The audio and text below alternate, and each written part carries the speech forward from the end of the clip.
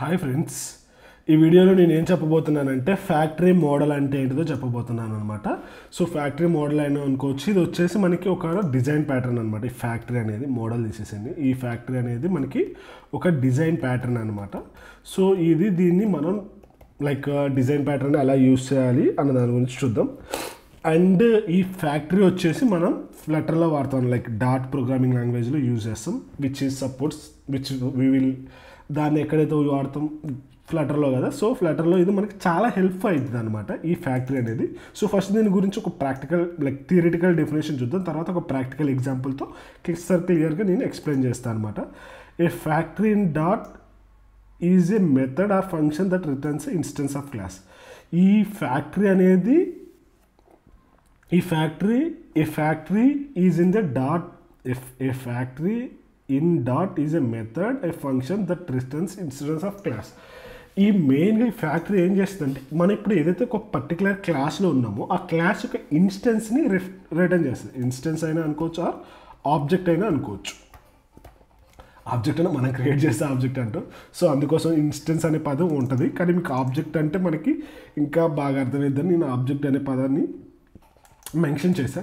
మనం ఏదైతే ఒక క్లాస్ క్రియేట్ చేస్తామో ఆ క్లాస్ యొక్క ఇన్స్టెన్స్ని రిటర్న్ చేసేది మనకి ఈ ఫ్యాక్టరీ అనమాట ఇది ఏంటంటే it can be use as alternative to regular constructor regular constructor కన్నా ఆ ఆల్టర్నేటివ్ యూజ్ చేయొచ్చు allowing more flexibility how objects are created ఇది ఏంటంటే ఎలా అయితే ఆబ్జెక్ట్స్ క్రియేట్ చేస్తుందో దానికన్నా ఈజీగా మనం చేసుకోవచ్చు అనమాట a factory method can be return and existing instance a factory method return can return an existing instance అనమాట ఒక ఫ్యాక్టరీ మెథడ్ ఒక ఎగ్జిస్టింగ్ ఇన్స్టెన్స్ని రిటర్న్ చేస్తుంది.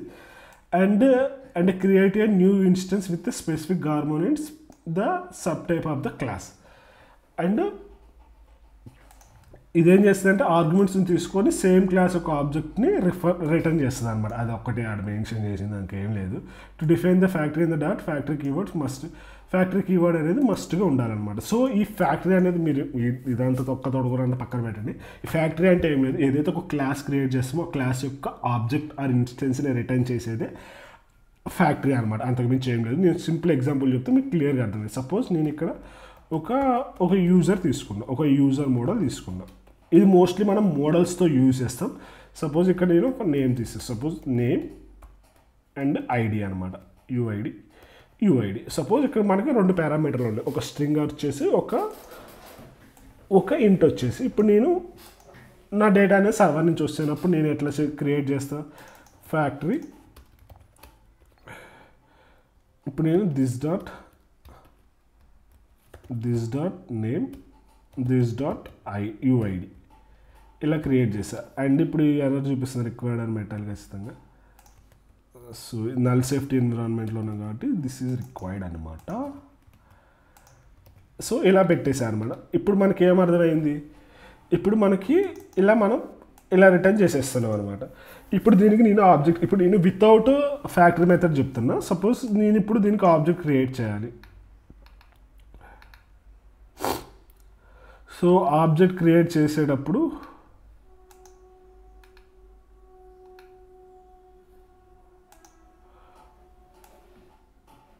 ఓకే ఈ విధంగా చేసినాం కదా. సపోజ్ దీనికి ఇంకొక మనకి డేటా అనేది సర్వర్ నుంచి వస్తుంది. సపోజ్ ఇక్కడ నేను ఇంకొక model create user model dot from JSON from JSON అని మన నేను ఇంకొకటి క్రియేట్ చేశాను అనమాట ఇది ఇక్కడ ఏంటంటే మనకి డేటా సర్వర్ నుంచి వస్తుంది. ఇక్కడ నాకు ఒక మనకి ఒక మ్యాప్ వస్తుంది అనమాట సో మ్యాప్ సో ఈ మ్యాప్ వచ్చేసి this dot name equal to map of name తర్వాత యూఐడి యూజర్ ఐడి ఇది ఏమడుగుతుంది లేడు పెట్టమన్నా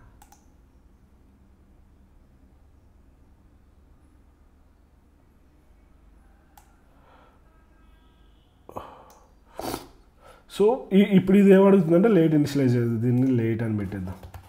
ఏం ప్రాబ్లం ఏం రాదు మనకి. సో ఈ విధంగా నేను చేసి. ఇప్పుడు మనకి దిస్ డాట్ కూడా అవసరం లేదనమాట ఎందుకంటే మనకి పేరెంట్ క్లాసులు లేవు కాబట్టి.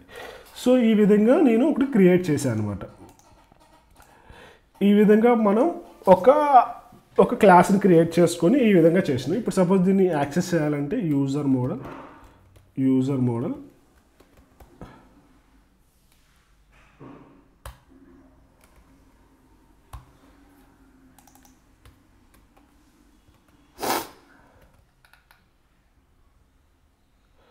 user model అని పెట్టేసి మనం ఇక్కడ ఆబ్జెక్ట్ క్రియేట్ చేసుకోవచ్చు అనమాట suppose name name Sai and ID UID వచ్చేసి యూఐడి వచ్చేసి వన్ టూ త్రీ అని పెట్టేసి. సో ఈ విధంగా మనం రెగ్యులర్గా చేస్తుంటాం అనమాట సో రెగ్యులర్గా చేసేటప్పుడు ఏం చేస్తాం? మనకి ఈ విధంగా ఉంటుంది అనమాట రెగ్యులర్గా మనం చేసేది. సో ఇప్పుడు ఫ్యాక్టరీ వచ్చేసి ఇక్కడ సాల్వ్ చేసే ప్రాబ్లం ఏంటంటే సపోజ్ నేను ఇక్కడ ఫ్యాక్టరీ అని ఒకటి క్రియేట్ చేస్తాను.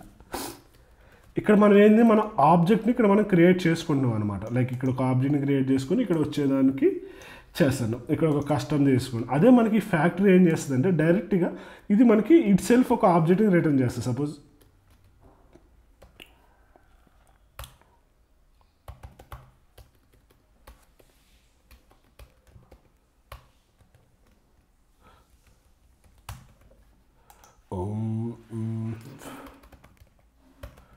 ఫ్యాక్టరీ ఏం చేస్తుందంటే user model from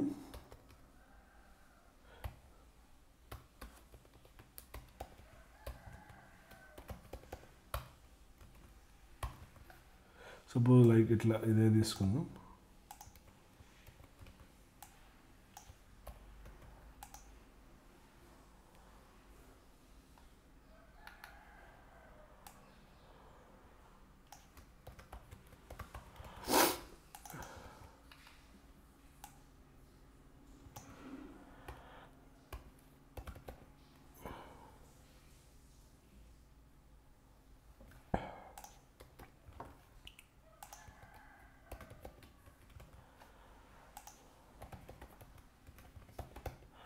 from factory UID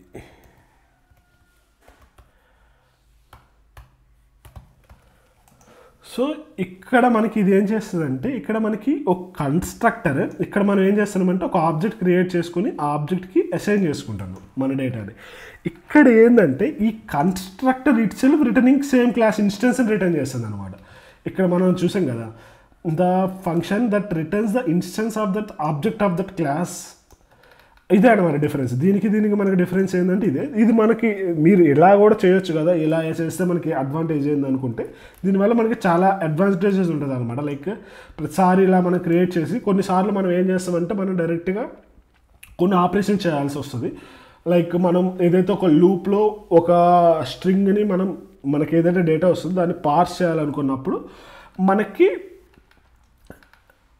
మనం ఒక ఆ క్లాస్ యొక్క ఇన్స్టెన్స్ రిటర్న్ చేయాలన్నమాట. సో ఆ కేసులో మనకి ఈ ఫ్యాక్టరీ మెథడ్ అనేది హెల్ప్ అవుతుంది. ఇక్కడ ఏదైతే మనం ఆబ్జెక్ట్ని క్రియేట్ చేసి ఇక్కడ డేటాని పాస్ చేసి ఆబ్జెక్ట్ని క్రియేట్ చేస్తున్నాం అంటే మనం మన కాడ ఉన్న డేటాని ఈ క్లాస్కి పంపించి ఇక్కడ చేస్తున్నాం కానీ ఇక్కడ ఏంటంటే మనం మ్యాండేటరీగా మొత్తాన్ని ఖచ్చితంగా మనం అందులో ఉన్న వాటన్నిటిని మన డేటా యాక్సెస్ చేసుకొని అదే మెథడ్ మళ్ళీ రిటర్న్ చేస్తుంది. సపోజ్ దీనికి దీనికి మీకు పెద్ద డిఫరెన్స్ అనిపించవచ్చు అనిపించకపోవచ్చు కానీ మనకి ప్రాక్టికల్గా చాలా హెల్ప్ అవుతుంది అనమాట లైక్ సపోజ్ ఇక్కడ ఈ కేసులో కూడా నేను ఇదే మ్యాప్ని పాస్ చేస్తాను.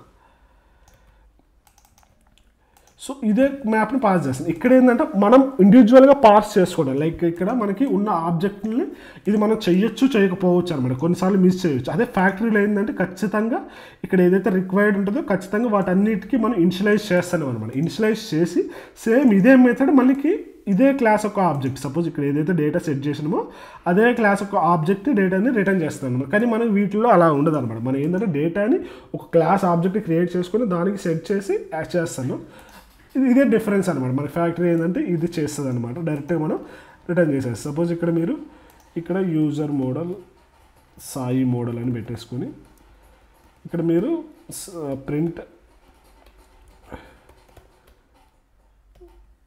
Sai model dot name. అని పెట్టేసి మీరు రన్ చేసేస్తే మనకి అవుట్పుట్ వచ్చేస్తుంది అనమాట null cannot be int suppose దీనికి వస్తుందా?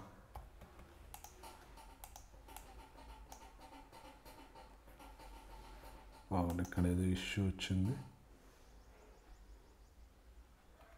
ఇక్కడ యూఐడి పెట్టినట్టున్నాం. ఇక్కడ జస్ట్ ఐడి అని పెట్టేద్దాం. ఇక్కడ చూసేస్తే మనకి సాయి అని వచ్చింది అనమాట ఇదే అనమాట. మనకి మీకు ఇక్కడ చూస్తుంటే పెద్ద డిఫరెన్స్ దీనికి దీనికి ఏం లేదు అనిపించచ్చు. కానీ మనం రియల్గా యూజ్ చేసేటప్పుడు మనకి కొన్ని కేసెస్లో మనకి డైరెక్ట్గా ఆబ్జెక్ట్ కావాలన్నమాట. సో ఆ కేసులో మనం ఖచ్చితంగా మనం ఈ ఫ్యాక్టరీ మెథడ్ అనేది యూస్ చేయాలన్నమాట. ఇదే అనమాట ఫ్యాక్టరీ మెథడ్ ఫ్యాక్టరీ మెథడ్ అంటే ఏం లేదు. ఆ ఒక క్లాసు ఆబ్జెక్టు ఆ క్లాస్ యొక్క ఆబ్జెక్ట్ని రిటర్న్ చేస్తుంది. దాన్ని మనం ఫ్యాక్టరీ అంటాం. సో ఇదే అనమాట ఇంకా దీనికి మించి ఏం లేదు. ఇంకేదైనా డౌట్స్ అయితే కింద కామెంట్ సెక్షన్లో కామెంట్ చేయండి నేను హెల్ప్ చేయడానికి ట్రై చేస్తాను. Thank you happy coding